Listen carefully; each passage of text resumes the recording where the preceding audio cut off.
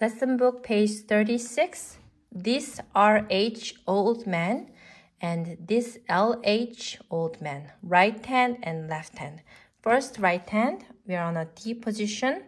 D, E, F sharp and G and A.